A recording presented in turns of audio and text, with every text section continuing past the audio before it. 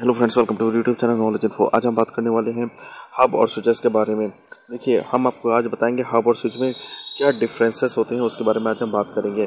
सबसे पहले बात करते हैं लेयर्स के बारे में। ये आईएसओ लेयर्स होती हैं। ये आईएसओ लेयर्स में सबसे पहले बात करें हब की। हब में क्या होता है? फ़िज़िकल लेयर वर्क करती है। हब लेयर वन के लेयर वन पर वर्क करता है। साथ साथ जो है, ये डिवाइस जो है ओ मॉडल पर बेस्ड होता है। अब इसके बाद हम बात करते हैं डाटा लिंक लेयर के बारे में। डाटा लिंक लेयर हमारा लेयर टू नेटवर्क जो जो हमारा होता है आईएसओ मॉडल में लेयर टू पर वर्क करता है, जिसे कहते हैं data link layer. Data link layer पे वर्क करता है स्विचेस।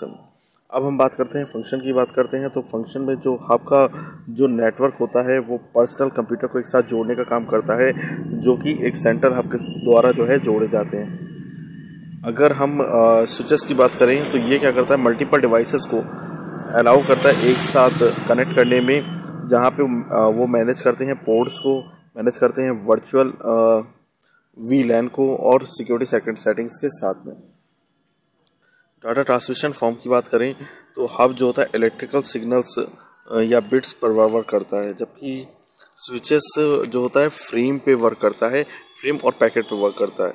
तो ये होती है फॉर्म अगर हब जो होता है वो इलेक्ट्रिकल सिग्नल्स के द्वारा सप्लाई देता है और स्विचेस जो होता है, वो फ्रेम या पैकेट के द्वारा जो है सप्लाई को प्रोवाइड करते हैं इंटरनेट की।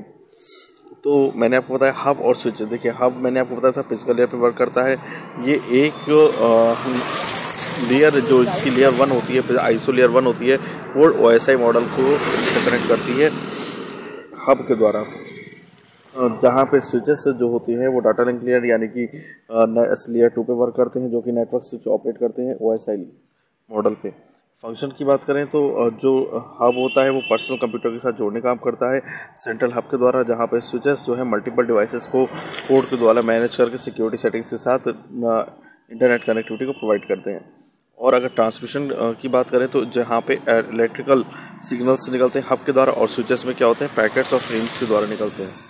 पोर्ट्स की बात करें, जो हब के जो पोर्ट्स होते हैं फोर बाई ट्वेल्व पोर्ट्स होते हैं, जबकि अगर हम स्विचेस की बात करें तो ट्वेंटी फोर ऑप्लिक फोर्टी एट पोर्ट्स होते हैं, यानी कि जो पोर्ट्स के मामले में, यानी कि ब्रिज के मामले में स्विच जो है सक्सेसफुल है।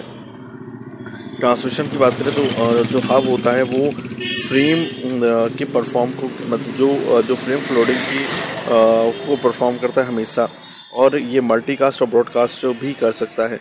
जहाँ, जबकि स्विचेस की अगर बात करें तो ये पहले ब्रॉडकास्ट करता है यूनिकास्ट और मल्टीकास्ट ज़रूरत पर करता है।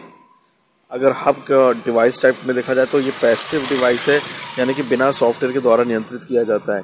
स्विचेस क्या होता है? वो एक्टिव डिवाइस है, वो सॉफ्टवेयर के साथ और नेटवर्किंग डिवाइसेस के साथ जो है कनेक्ट होकर के नियंत्रित होता है। तो ये डिफरेंस होता है हब और स्विचेस के बारे में। तो थैंक यू फ्रेंड्स यदि आपको मेरा वीडियो पसंद है तो प्लीज़ सब्सक्राइब ज़रूर करिएगा।